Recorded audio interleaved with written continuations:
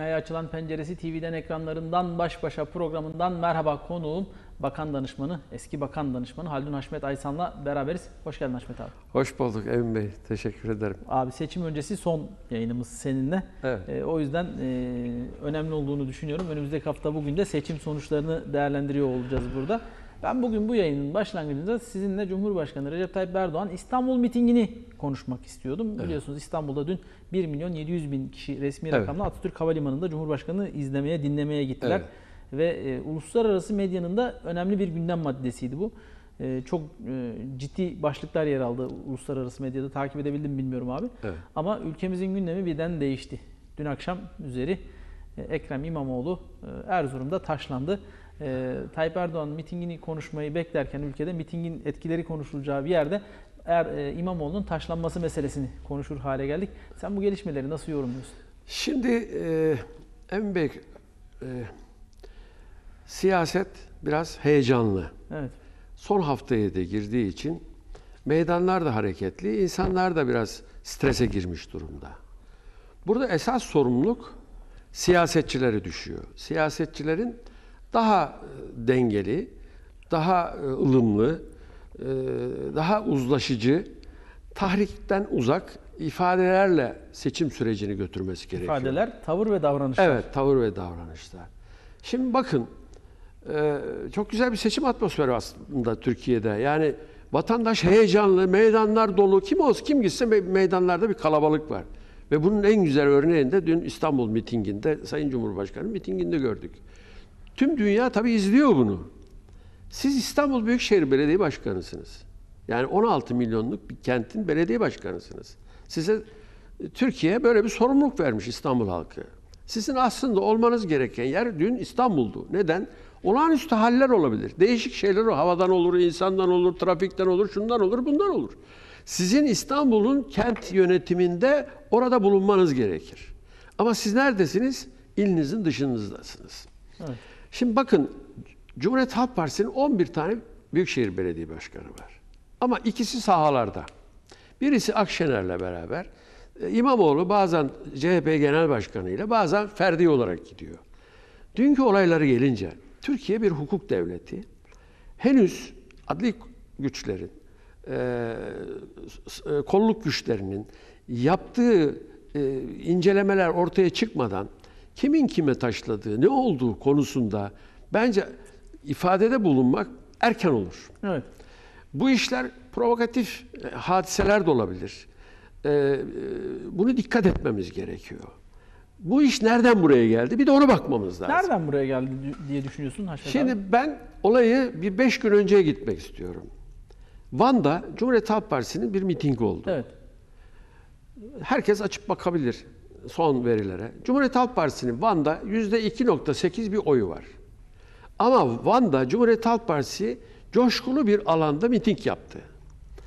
Ama o mitingde ne vardı? Aslında HDP yani Yeşil Sol e, grubunun e, sempatizanları vardı. Onu da nereden anlıyorsunuz? Atılan sloganlarda ne deniyordu? Şu, dişe diş, kana kan, yolumuz Öcalan. Yani Cumhuriyet Halk Partisi'nin mitinginde bu sloganlar atıldı. Doğru mu? Atıldı. Evet. İkincisi, o mitinge Sayın İmamoğlu eşiyle beraber çıktı. Ve o e, meydan şeyde e, kürsüde e, miting alanını PKK'nın zafer işaretiyle Evet. selamladı. Sonra kürsüye kim çıktı? İmamoğlu'nun kendisi çıktı. Kendisi gibi Selahattin Demirtaş'ın özgürlüğü kavuşturulmasını istedi. Arkasından kayyumların kaldırılmasını istedi. Şimdi siz oradaki topluluğa, meydandaki topluluğa ilişkin olarak bunları söylediniz. Ama bu söylemleriniz tüm Türkiye'ye yayıldı. Yani sizden önce Erzurum'a gitti diyorsun. Tabii ki tüm Türkiye'ye yayıldı. Siz bu söylemlerle gelirseniz Erzurum gibi milliyetçi muhafazakar kökenin ağırlıklı olduğu bir yerde bunlar aynı zamanda ne olur? Bir tahrik şekli de olur. Evet. Ha bu- bunu burada tah- tahrikten kastım bu- e, o zaman herkes nereye giderse orada bir tahrik unsuru mu olacak? Bunu söylemek istemiyorum. Ama bazı hassasiyetler vardır. Bunu dikkat etmesi gerekiyor. Eğer Van'da o hareketleri yaptıysan, o söylemlerde bulunduysan Erzurum'a artık gitmemem mi gerekir abi? Hayır gidersiniz. Gitme, gitmesinde bir sorun yok. Bakın olay birinci aşaması bu. İkinci aşamasını gelelim. Hani ilki İstanbul'da olması lazım dün. Evet. Yok. İkincisi Van'daki olaylar. Van'daki hadiseler var. Üçüncüsü Erzurum'a gelelim şimdi. Er, her e, ilde veya ilçede partiler e, miting yapar. Nasıl yapar? İlçe seçim kurulu, il seçim kurulu müracaat eder. Partilerin e, miting yapacağı yer bellidir. Evet. Şimdi İmamoğlu için de e, Erzurum'da miting yapmak için bir izin talebinde bulunmuş ilk önce.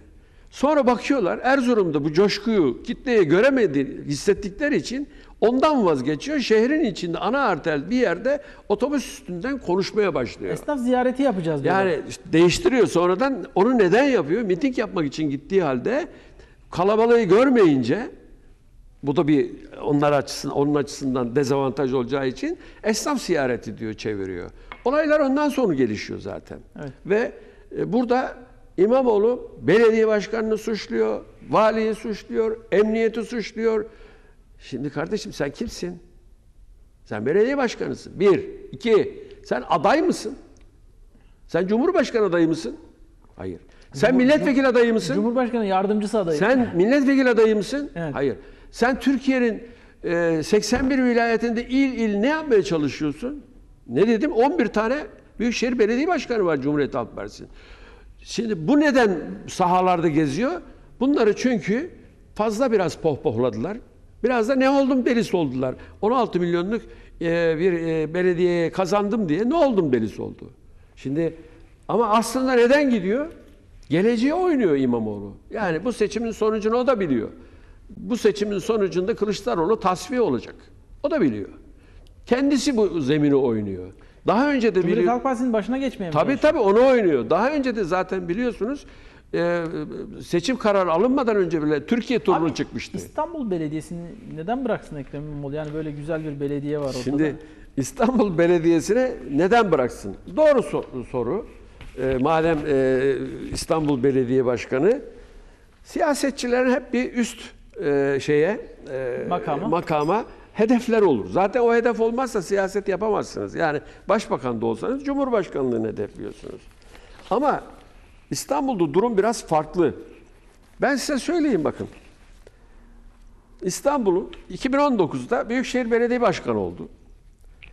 2019'daki belediyenin İstanbul Büyükşehir Belediyesi'nin geliri 19 milyar 286 milyon lira yuvarlak. Bu paranın 14 milyarı merkezi idareden geliyor. Ve belediyenin kendi ürettiği vergi geliri, teşebbüs mülkiyet geliri ve bağışları topladığınız zaman personel parasını yetiyor sadece. 19 milyar. Hayır. 19 milyar bütçe var. Bu bütçenin 14 milyarını zaten merkezi idare gönderiyor. Evet. Yani İstanbul Belediyesi kendisinin bir şey ürettiği yok. Bu 2019. 2020 yıl gelin devletten 18 milyar geliyor. Bütçesi 19.357. Bakın Oo. bütçe değişmiyor. Devlet 14 yerine 18 gönderiyor, 4 milyar daha fazla gönderiyor. Ama geliri 19.357 devam ediyor. Bir şey üretmiyor. Belediye olarak kendisi vergi geliri veya faaliyet geliri olarak bir şey üretmiyor. Devletin gelirleriyle gidiyor. 2021'e geliyor. Devlet 2020'de 18 gönderdiğinde 2021'de 25 milyar 616 milyon devlet para gönderiyor. Bütçe 30 milyar. Yani burada 5 4,5 milyarını belediyenin kendi öz kaynakları olarak görüyorsunuz. Peki bu süreçte baktığınız zaman ne oluyor? Sadece 2,5 milyar personel gideri var Büyükşehir Belediyesi'nin. Büyükşehir Belediyesi Ankara'nın yardımı olmadan asla ve kata yürüyemez İstanbul Büyükşehir Belediyesi. Ha git Ankara'da aynı. Aydın'a gel orası da aynı. Aydın Büyükşehir Belediyesi'nin kendi öz gelirleri e, personel gelirleri anca yeterli. Abi bizim Buharkent Belediyesi'nin devletten gelirinin 5 katı kendi geliri var ya. İşte bu bu bu mes- mesela Kuşadası Belediyesi'nin de öyle. Kendi öz kaynak gelirleri yüksek. Ha, bir, neden bu? Belediye başkanların e, icraatıyla alakalı, iş bilmesiyle alakalı, iş bilmezliğiyle alakalı. Şimdi öyle bir şey oldu ki tutulan bana diyor devlet kredi alacağım, borçlanacağım bana izin vermiyor diyor. Bakın bunlar hepsi atmasyon laflar. Yani İstanbul Belediyesi'ni açtığımız için oradan söyleyeceğim. Evet. İstanbul Belediyesi'nin borçlanma kabiliyeti 36 milyarken 52 milyar borç edinmiş durumda. Yani son faaliyet gelirinin bir buçuk katı olacak borçlanma miktarı. Bu yüzden İstanbul Büyükşehir Belediyesi borçlanma e, imkanını kaybetmiş durumda. Kanun gereği bir buçuk katından fazla borçlanamıyorsunuz. Şimdi hal böyle olduğu halde ağlıyor. Diyor ki bana merkezi hükümet işte Ankara bana borçlanmama izin vermiyor. Kanun bu. Kanun vermiyor. Sen zaten kapasiteyi aşmışsın. Eksiye gitmişsin. Ne yapmışlar abi bu kadar borçlu? Hani Şimdi- ortada ne var? Şimdi ortada ne var? Onun faaliyet raporunu görmeniz lazım. Yani bir belediye ne yapmışsa onu faaliyet raporundan göreceksiniz. Hadi bakalım açın 2022'nin faaliyet raporları hangi belediye yayınladı şu an? Hiçbirinin yok ortaya.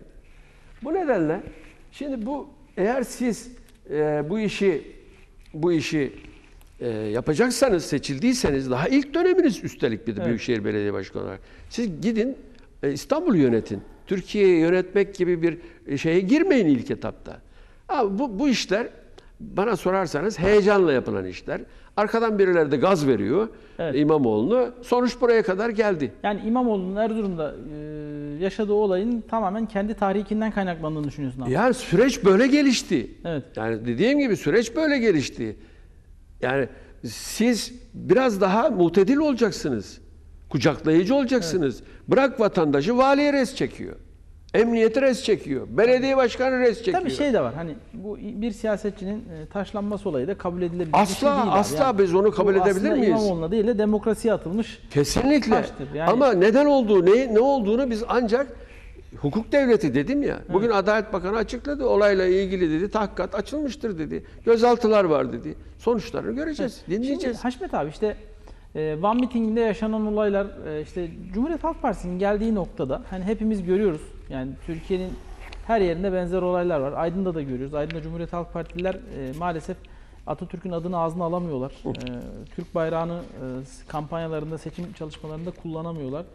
Yani bugün e, HDP ile e, bir organik bağ geliştirildiği, PKK ile Kandil'de bir organik çalışma içerisinde olunduğu aşikar. Evet. Ee, nasıl bu duruma geldi Cumhuriyet Halk Partisi? Şimdi e, onu e, açıklayabilmek için biraz geriye gitmek lazım. E, tabii e, bunu, bunu benim söyleyeceklerimi e, söylediğim an itibariyle yani 1987 itibariyle oy kullanan bir insan düşünelim. 20 yaşında üstünden bugün geçtiyse bir işte e, 35-40 sene geçmiş. 50-60 yaşındaki insanlar 45-50 60 arasındaki insanlar çok iyi hatırlayacaktır. Bakın 12 Eylül darbesi oldu. Evet.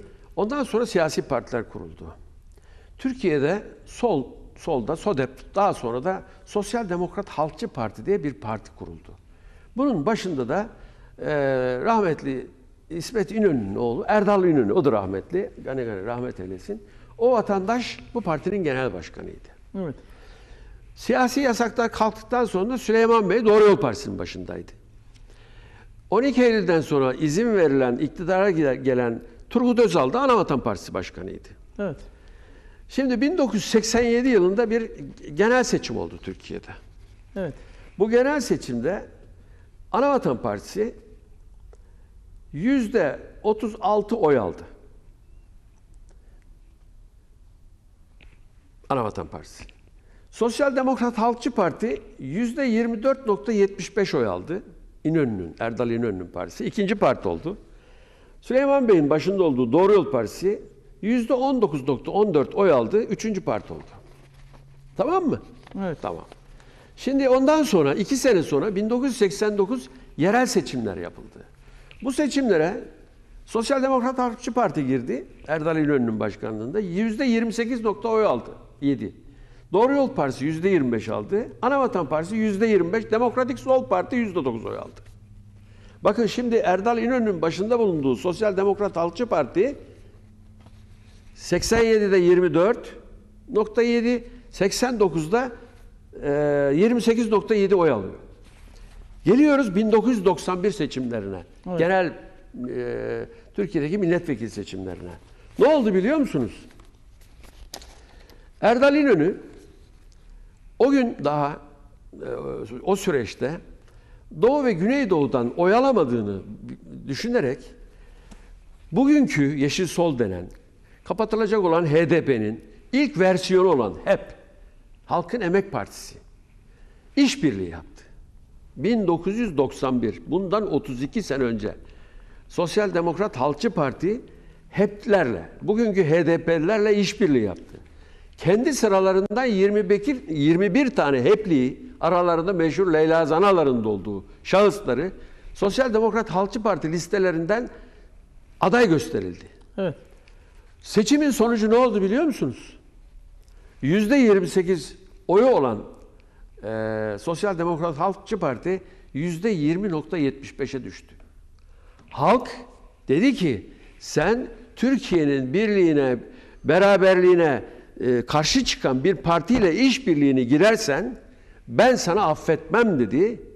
91 yılında SHP'yi 9 puan aşağı çekti. Ve Aydın'dan milletvekili çıkaramadı biliyor musunuz? Evet. Bunlar tarih. Şimdi tarih tekerrür ediyor. Bu olayı, bu olayı o gün için e, rahmetli Deniz Baykal kabullenmedi. Karşı çıktı.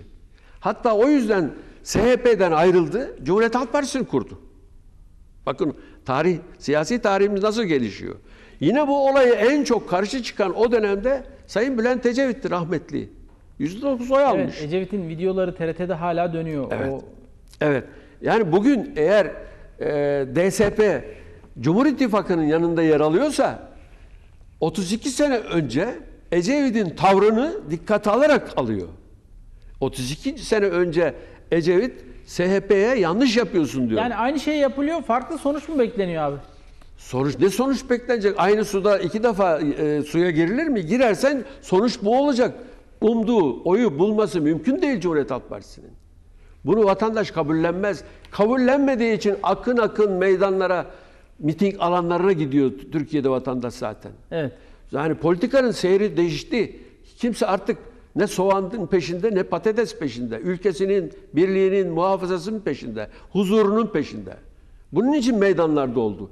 Yani öyle bir yanlış e, kulvarda siyaset yaptı ki CHP kendi başına girebilirdi. İyi Parti ile girebilirdi. Memleket Partisi ile üçlü ortak olabilirdi. Onunla yol yürüyebilirdi. Ama siz kalktınız Türkiye'nin birliğine, bütünlüğüne karşı olan, bu ülkeyi bölmek isteyen PKK'nın siyasi koluyla işbirliği yaptınız. Şimdi diyorlar ki ne vaat ettiler? Ne vaat edecekler? Geçen gün burada ben açıkladım size. Milli Güvenlik Kurulu'nun dedim 2010 yılının toplantısında bir karar var Evet, dedim. tek devlet, tek, tek millet, devlet, tek millet, tek, Tek vatan, vatan, tek bayrak. tek bayrak evet. Hatta herkes diyor ki bu Rabia mı? Hani Sayın Cumhurbaşkanı elini böyle gözü dört maddeyi sayınca bu devletin e, kırmızı çizgileri. Ve arkasından da diyor ki Türk Cumhuriyetimizin resmi dilinin Türkçe olduğu, gerçeğini değiştirmeye yönelik hiçbir girişimi kabul edilmeyeceğinin bilinmesi. Devletin politikası bu. Cumhuriyet Halk Partisi Genel Başkanı kırmızı çizgisi ne? Ne abi? Geçen gün de burada Sayın Çerçioğlu söyledi onu. İki kırmızı çizgimiz var dedi. Biri Biri, vatan- vatan, biri bayrak. E, devletin dört kırmızı çizgisi var. Bayrak var, vatan var, a, millet de var. Devlet de var, dil de var. Nerede görüyorsun? Anayasanın üçüncü maddesini açalım. Değişmesi teklif edilmeyen, edilemeyen, değiştirilemeyecek olan madde. Ne diyor bakın? Türkiye devleti, devlet, ülkesi ve milletiyle bölünmez bir bütündür. Dili Türkçedir. Şimdi siz bayrağı aldınız, vatanı aldınız, devleti bıraktınız, milleti bıraktınız, dili bıraktınız. Ama anayasanın üçüncü hükmü amir, değiştirilmesi teklif edilemeyen bir madde. Siz ne yaptınız şimdi? devleti ve ülkesi milletiyle bölünmez bir bütün denen maddeyi dışarı aldınız. Neden biliyor musunuz? İşte pazarlık bu. PKK veya Yeşil Sol veya HDP yıllardır 40 yıldır neyin mücadelesini veriyor? Devleti federasyon yapmak Evet. istiyor. Özerk Ye- yerel yönetimle. Özellikler istiyor. Özellikle bir federal devleti dönüştürmek istiyor. Bir ayağı burada, bir ayağı Suriye'de, bir ayağı İran'da, bir ayağı Irak'ta. Şimdi devleti federasyonu çevirmeye çalışıyor. Bu tavizi oradan verdiniz. Devleti kırmızı çizgiden çıkardınız. Milletiyle bölünmez. Şimdi bi- biz Türk milleti diyoruz. Sen ne demeye getiriyorsun? Milletiyle bölünmez bütünlüğü. Türkiye de iki kurucu unsur diyor PKK. Veya onun siyasi kolu, işbirlikçi kolu. Ne diyor? Türk ve Kürt kurucu unsurdur diyor. Ama anayasam Türk diyor. Sen bunu da pazarlık konusu etmişsin. Sonra ne diyor anayasa? Dilim Türkçe diyor. Milli Güvenlik kararında da bu vurgulanıyor. Asla diyor değiştirilmesi düşünülemez bu diyor. Sen onu da bırakıyorsun. Diyorsun ki Türkçe'de ana dilde eğitim vesaire şudur budur. Şimdi bir ortağın birisi bu. Bununla pazarlık bu. Birisi de diyor ki 66. maddeyle kafayı bozmuş. Türk devletine vatandaşlık bağı olan herkes Türktür. Bu değişsin diyor. Aa. Sen bundan neye rahatsın kardeşim sayın babacan? Sen Türk değil misin? O da bundan rahatsız. Bu da anayasanın o 66. maddesi. Türk devletine vatandaşlık bağıyla bağlı olan herkes Türktür kelimesi seni neye rahatsız ediyor kardeşim? Niye bunun peşindesin? Niye bununla uğraşıyorsun? Şimdi bir ortak da bu. Bu bu bu bunlar Türk milletinin hassasiyetleridir. Evet. Siz bunlarla çıkarsanız sahneye istediğiniz kadar çırpının siz oyalamazsınız. Evet.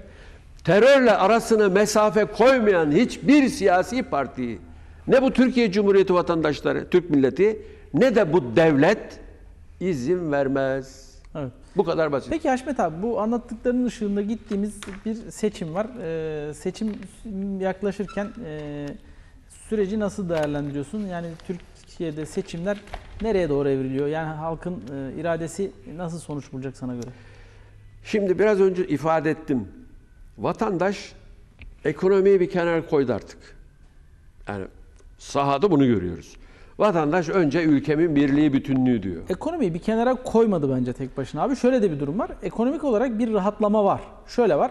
Bunu nereden anlıyoruz? Bayram öncesi ben salı pazarına gittim. Aydın'da yürüyecek yer yoktu. İlçe pazarları da öyleydi. Semt pazarları hep öyleydi. Ee, Aydın'daki alışveriş merkezi e, bayram öncesi 15-20 gün, bir 10 gün falan tıklım tıklım doluydu. Ve ben bayramdan sonra da bakıyorum, esnafla da konuşuyorum. Ciddi ciddi bir hareketlilik geldi piyasaya.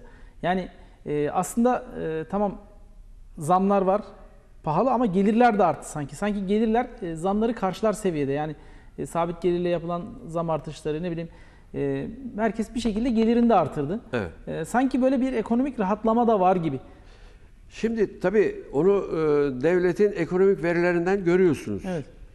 E, yani üretimde görüyorsunuz, e, ihracatta görüyorsunuz. İhracat artışı da var Türkiye'de, üretim artışı da var, e, yatırım da var. E, piyasadaki e, dönen şeyi nereden görüyorsunuz? Bu ülkenin e, kurumsal e, faaliyetini, kamu borcu, e, kamu e, bütçesini takip ettiğinizde de anlıyorsunuz. Vergi gelirlerinden görüyorsunuz. Yani eğer piyasada bir faaliyet varsa e, gelirler de göreceksiniz. Ne- Nereden göreceksiniz? Herkes gelir vergisi ödemiyor. Esas vergiyi nereden alıyorsunuz? KDV'den, ÖTV'den alıyorsunuz. Özel tüketim. Evet bunları burada görüyorsunuz. Benim önümde veriler var. Zaten Türkiye'de beyana dayalı e, verginin gelirdeki oranı %13'lere kadar falan geriledi diye biliyorum Yani ben. çok, çok cüzi tabii. Dolaysız vergi işte 43 bin, 43 milyarları mesela Mart ayında, e, Şubat, şeyde Şubat'ta 33 milyar, Ocak'ta 72 milyar. Ama dolaylı vergiler dediğiniz zaman e, bakın e, dolaylı vergi Ocak'ta 180 milyar, e, Şubat'ta 145 milyar, Mart'ta 155 milyar. Bakın bu. Onun dışında e, tabii ki diğer gelirler var. ÖTV'si vesairesi şunlarla bunlar. 3 ayda geçen sene 3 aylık e, vergi geliri 602 iken bu sene 800 milyar. Ama geçen sene e, merkezi yönetim gelirinden daha az 571 milyar harcamış. Bu sene 800 milyarın üstüne 1 trilyon 44 milyarı çıkmış. Yani 250 milyar bütçe şu an açıkta. Evet. Neden açıkta? 6 Şubat'taki meydana gelen deprem vesaire var. Şimdi 250 milyar açığın sebebi bu. Ben ekonomiyi e, düzeleceğini düşünüyorum. Neden düşünüyorum? Şimdi mesela faiz olgusunda da şeyler var. Yani ekonomi bir şekilde düzelir diyorsun. abi. Düzelir. Çünkü bunun emsali var. 21 yıllık hükümetin karnesine baktığınız zaman 2002'de aldığı bir enflasyon var. Onun süreç içerisinde nereye getirdiğini görüyorsunuz. Bu son 3 ve 4 yılın e, e, muhasebesinin sonucu. O da onu da diyorlar ki yönetim sistemi tek adam sistemi. Değil kardeşim. Bir dünya ve Türkiye e, resesyona girdi. E, bu Covid-19, Covid meselesinden Ukrayna-Rusya şuradan. savaşı, Tabii ki bun- Tayvan-Çin krizi. Aynen aynen Bu- bunlar resesyon oluşturdu. Burada bir sıkıntı var. Bunun getirdiği bir sonuç var. Bundan kaynaklı bir hadise var. Türkiye bunu aşar mı? Aşar. Türkiye kaynakları büyük. Türkiye cari açığını azalttığı takdirde bunlar aşacaktır kendi, zaten. Kendi doğalgazın çıkıyor. %30, E bitti, %30 enerji ihtiyacını oradan karşılıyor. bitti. İşte nükleer santraller devreye giriyor. Aynen, Bunlar aynen. zaten devreye girince sanırım cari açık denen kavram biraz böyle rahatlayacak yani. E, tabii ki bütün mesele onun üzerine çalışılıyor işte. Peki Haşmet abi yani ekonomi gündemden düştüyse yani ekonomi Yani gündemden düşmedi. Yok, şöyle yani- Vatandaşın oy kullanma sahikindeki önceliği anlamında Ha, ekonomi söyledim. öncelikli olmaktan çıktıysa, başka meseleler devreye girdiyse e, seçim süreci nereye evrildi? Şu an ne görüyorsun? Benim gördüğüm şu sahada. Ben şimdiden Sayın Cumhurbaşkanımıza tebrik ederim. Yani seçimi 51.4, 52.4 gibi bir oy oranı içerisinde bitireceğini düşünüyorum. Birinci turda mı? Birinci turda. Bunun iki puanını yurt dışından alacak. Bakın. Kimsenin bakmadığı bir taraf var. Flu. Evet orada şu an oy kullanımı Şu an- 2 milyon seviyelerini buldu. Tabii ki. E, Bakarsanız geçmiş oyları, Cumhuriyet Cumhurbaşkanlığı veya milletvekili seçimleri, yurt dışı oyları baktığınız zaman yüzde 60'ını, yüzde 65'ini AK Parti alıyor oyların. Şu an bir buçuğun üstünde.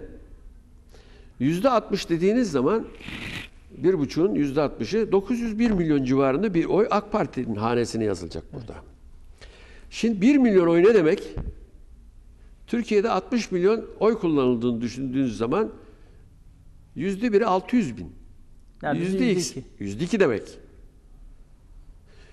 Cumhurbaşkanı seçimi ilk turda böyle göğüsleyecek zaten. Bununla göğüsleyecek. Bir de ikinci olay, onu birinci turda bu işin bitmesine sebep olan şey, Cumhuriyet Halk Partisi'nin yanlış strateji, yanlış ortaklarla bu seçime girmesi. Eğer farklı bir kulvarda, farklı ortaklarla yürüseydi Cumhuriyet Halk Partisi, belki seçim ikinci tura kalma şansı bile vardı. Bakın ben size söyleyeyim. Ama şimdi yok. O bitti. Vatandaş onu kafasından çıkardı. Yani e, 14 Temmuz Mayıs'ta bir seçim yapacak. Sonra bir belirsizlik, bir 15 gün süre daha geçecek. Türkiye'nin buna kaldırma, bunu, bunu sürdürme şansı yok. Evet kaos ve kriz ortamını istemiyor Kesinlikle. vatandaş. Yani ekonomik dengelerin bıçak sırtında olduğu, Türkiye'de 11 vilayette yıkımların olduğu, bununla ilgili faaliyetlerin bütçe, bu yüzden bütçenin açık olduğu bir süreçte Türkiye'nin 15 gün bir ay e, bir e, yönetim e, istikrarsızlığına, belirsizliğine sürüklenmesi büyük fatura olur. Bu faturayı kim ödeyecek? Siyasetçi ödemeyecek. Vatandaş Vatandaş ödeyecek. O yüzden ben vatandaşın kararlı olduğunu gördüm. Onu görüyoruz meydanlarda. Yoksa 21 yıllık bir parti. E, Yani bu kadar e, namüsait durumlar iddia ediyor muhalefet. Kardeşim o zaman niye bu seçimi çok rahat almıyorsunuz? Siz de kalkıyorsunuz Muharrem İnce'ye bağlıyorsunuz. Size ne Muharrem Günah İnce'den? keçisi aramaya başladılar değil mi? Size ne Muharrem İnce'den? Anayasaya göre 100 bin oy alabilen veya e, Türkiye Büyük Millet Meclisi'nde grubu bulunan bir parti veya Türkiye'nin yüzde 50'sinde 41 ilinde teşkilatlanmış bir parti seçime e, şey seçime de girebilir, aday da gösterebilir, aday da çıkarabilir, aday da olabilir. Siz Emin Aydın olarak siz de 100 bin oy alırsanız aday olursunuz. Ben de aday olabilirim. Kalkmış vatandaş 100 bin kişi oy vermiş üstündeki kişi aday ol demiş. Sana ne? Sen onu neye engelliyorsun? Neymiş efendim? Oylara bölecekmiş. Kardeşim hangi oydan bahsediyorsun sen? Senin oyun 22 buçuk. Dön 2018'e. Önümüzde her şey. Atıyor tutuyor herkes. Bakın 2018'deki duruma. Sayın Erdoğan %52 e, 60'ta seçilmiş. 26 milyon oy almış. Muharrem İnce yüzde 30 nokta 64 oy almış. Muharrem İnce yüzde bunu almış da Cumhuriyet Halk Partisi kaç almış? 22.65. Muharrem İnce partisinden 8 oy fazla almış. Haşmet abi şöyle bir şey fark ediyorum ben. Ee, Bir şey daha burada vurgulayayım da bakın. Meral Akşener 2018'de şimdi ittifakta. Ne o gün ittifakta değildi? Kendisi girdi. Onu bir sorgulayalım. Meral Akşener 3 milyon 650 bin oy almış. Yüzde 7-29. Peki İyi Parti ne kadar oy, oy almış biliyor musunuz? Yüzde 10. Meral Akşener partisinin oyununu alamamış. Muharrem İnce partinin oyununa 8 8 mi 8 puan eklemiş. Cumhuriyet Halk Partisi 22,5. Muharrem İnce 30,5 alıyor. Partisinden 8 puan. Meral Akşener kendisi 7,30 alıyor. Partisi 10 alıyor. Yani bakın Çok ilginç. bu çok evet bu önemli bunlar. Mesela yine orada bakalım. Ee, şeyi bugün ittifakın içerisinde olan Selahattin Demirtaş yüzde 8,40 oy almış. Hani lider diyorlar ya. Peki HDP? peki HDP ne almış? 11,70 almış. O da partisinin oyunu alamamış. Yani Muharrem İnce'ye oy verenler e, gitmiş İyi Parti, HDP oy vermiş ama CHP oy vermemiş. Bu kadar basit. Bak nasıl çözdünüz? Evet. Çünkü bunlar belge, bunlar resmi evraklar. Belgeden konuşacağız, yola çıkacağız. Bu nedenle Cumhuriyet Halk Partisi'nin bu hatadan mütevellit 91'de olduğu gibi oylarında gerileme, gerileme Haşmet olacak. abi bazı köşe yazarları da bunu vurguluyorlar. Ee, Şu an Cumhuriyet Halk Partisi'nin ort- ortaklık kurduğu partiler, DEVA, Saadet, Gelecek, Evet. İyi Parti, Evet. e, Demokrat Parti hepsi CHP seçmeninden oy almayı umuyor. Yani hepsi mesela mitinglerde bakıyorsun hepsi CHP seçmenin oyuna talip. Hani e, atıyorum Saadet Partisi'nin kimin oyuna talip olması lazım abi? İşte mu- mutasip kanatın, muhafazakar kanatın değil mi? Yani Evet. e, Ama, şimdi Saadet Partisi milli görüşçü değil ki. Evet. Temel Karamollaoğlu'nun söylemlerine bakıyorsun CHP tabanından oy almaya çalışıyor. Abi Deva'ya bakıyorsun AK Parti'den oy tırtıklaması gerekiyor. Deva da Cumhuriyet Halk Partisi tabanından Tabii, oy istiyor. tabii. Gelecek de oradan istiyor.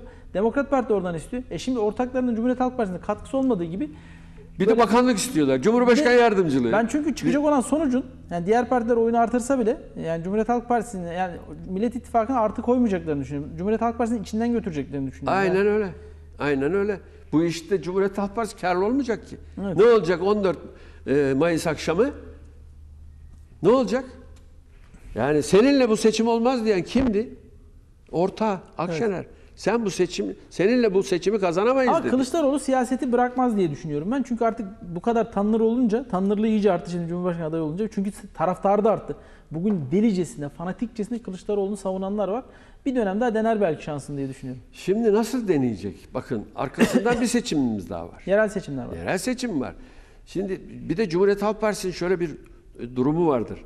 Ya seçim yenilgisi oldu mu? Partinin içi kaynar kurultay demeye başlar. Dediler ama Kılıçdaroğlu'nun kaybettiği her se- seçim sonrası Dediler en son zaten Muharrem İnce neden dışlandı?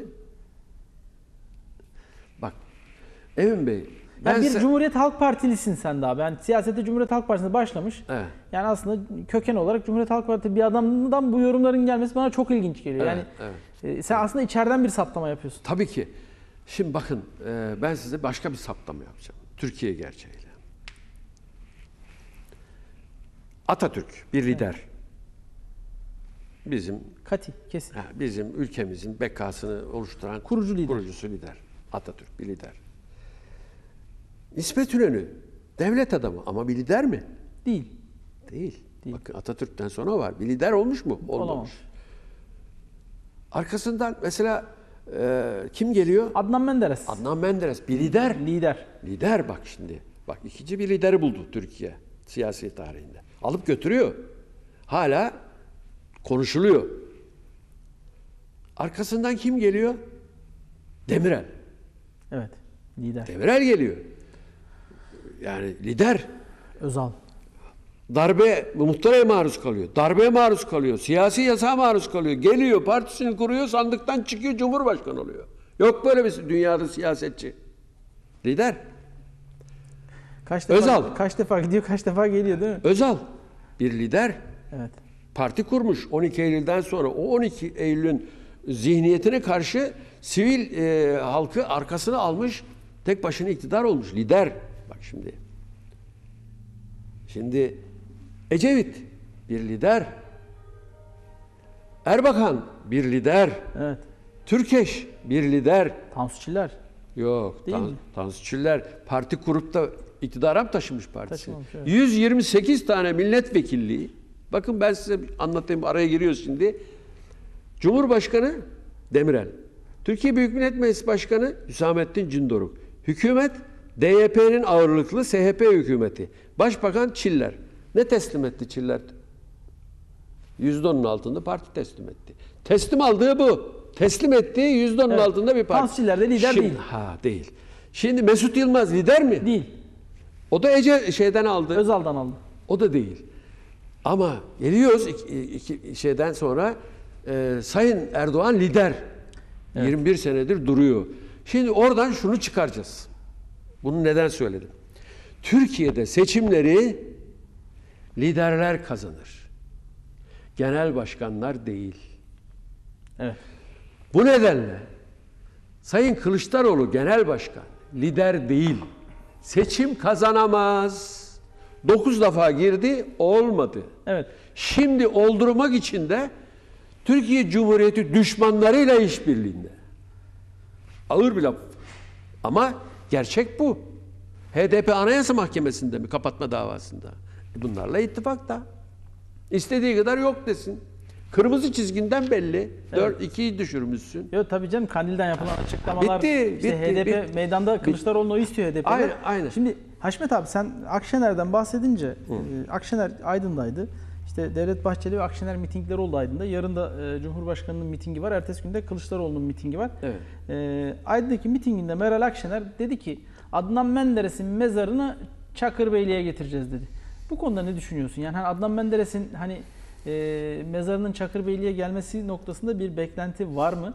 E, Meral Akşener'in bu e, söylemini nasıl değerlendiriyorsun? Şimdi e, e, Sayın Menderes bizim memleketimizin insanı. Demokrat Parti'nin kurucusu. Demokrasi şehidi. Ondan öncesi Cumhuriyet Halk Partisi'nin mebusu yani. Mebusu evet. Aydın mebusluğu da var. Kütahya mebusu var. Aydın'dan sonra gidiyor zaten. Evet. Sonra gidiyor. Şimdi Menderes'in mirasını yemek isteyen çok insan var siyaset sahnesinde. Onun mirasından e, nemalanmak isteyen Ma- siyasi onun mağduriyetinden beslenmek istedim. siyaset çevreler var. Şimdi ben size bir yine ana anlatayım.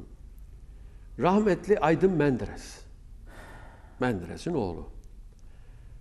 Biz evine gittik Aydın'dan otobüslerle. Siyasete dön diye. Doğru Yol Partisi'nin başına geç diye. Kabul etmedi. Çok arkadaşımız. Otobüsle gittik. Geçmedi. Çakırbeyli çiftliğinin içinde bir müze yapalım dedik. Adnan Bey için. Çiftliği. Hani diyor ya Çine çayından öteye geçmeyeceğim. Çine çayından öteye geçmeyeceğim diyorsa o tarafta kendi Evet, çiftliğinin içinde. kenarında söğüt ağaçlarının yapraklarının e, yüzüme yepremesinin saadetiyle kitabımı okuyacağım diyor. Evet. Aile bunu kabul etmedi. Bakın aile bunu kabul etmedi. Nitekim bakın kaç yıl geçmiş. Ee, bu hükümet zamanında da orada şimdi bir Adnan Menderes Müzesi kuruldu. Nereye kuruldu? Ailenin arazisine mi kuruldu? Hayır. Mera'ya kuruldu. Evet. Şimdi bu nedenle ailenin böyle bir tavrı var. Ben bunun içinden geliyorum. Rahmetli Özal onu orada bir e, anıt mezar yaptı. Şimdi onun buraya nakli ancak ve ancak ailenin talebiyle olur. Siyasetçilerin talebiyle değil. Şimdi arkadaşlarımız çok heyecanlı. Siyaset nemalanma açısına e, açısından ama bu aileyle görüşen var mı? Yok. O talep aileden gelecek. Siyasetçiden değil. Ama ailenin böyle bir rezervi var. Biz bunu geçmişte yaşadık.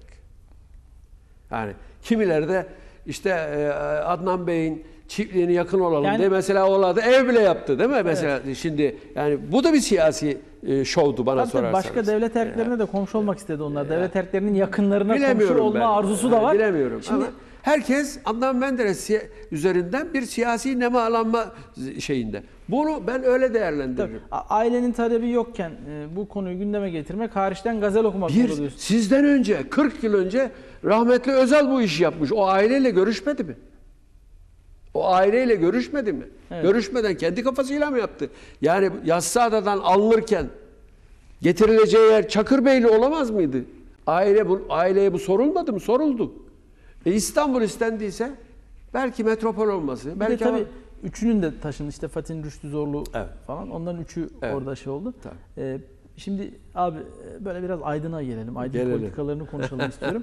Sen şimdi Aydın'da da merak konusu. Bana göre Kılıçdaroğlu Aydın'da çok yüksek oy alacak.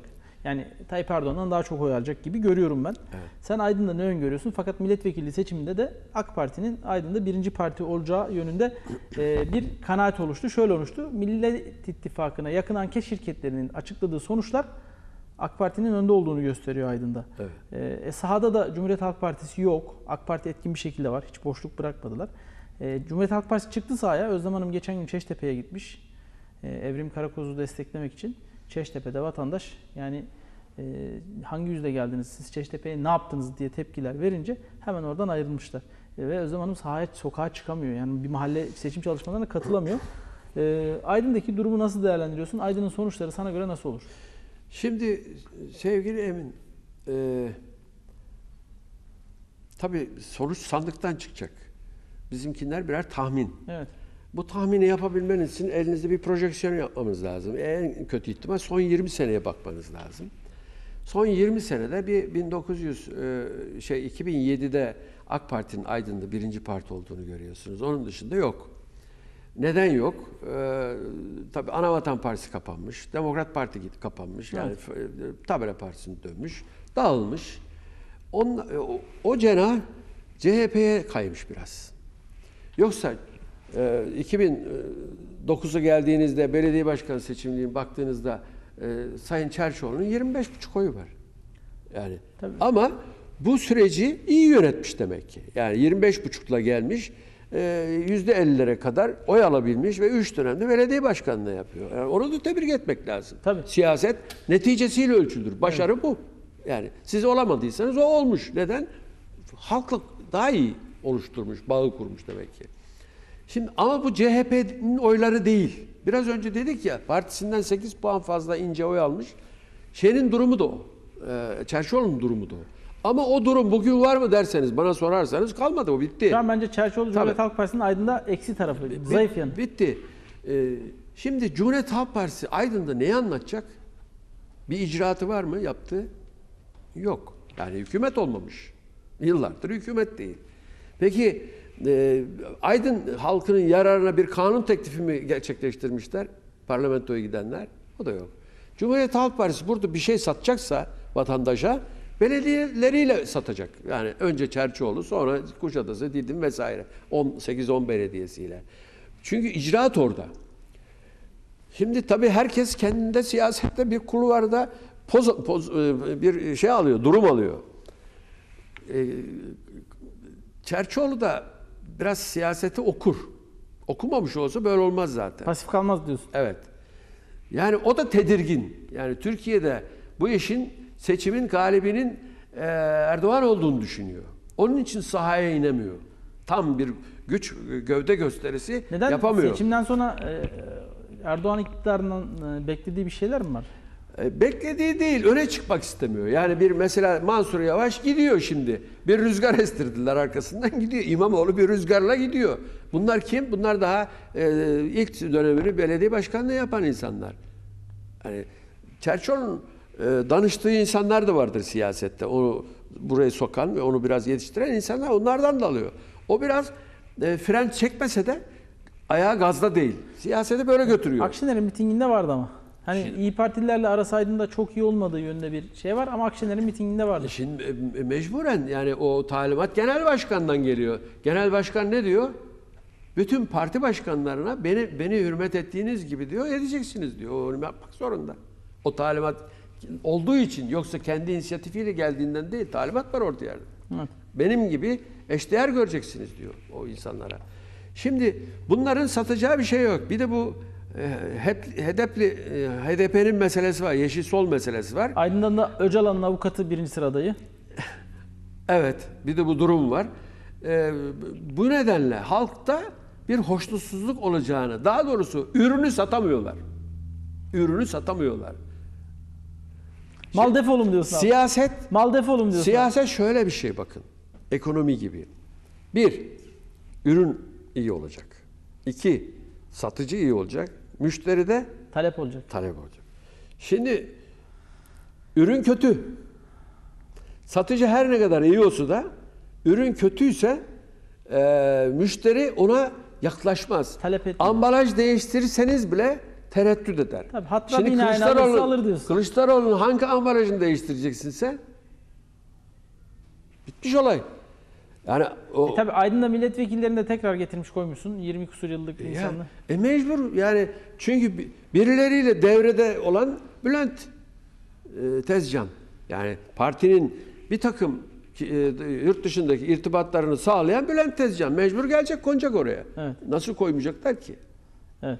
İkincisi kendi akrabası Hüseyin Evet. ve deklare ettiği gibi ben Aleviyim dediği gibi o e, şeyden bir iki o kontenjandan zaten üç Süleyman var.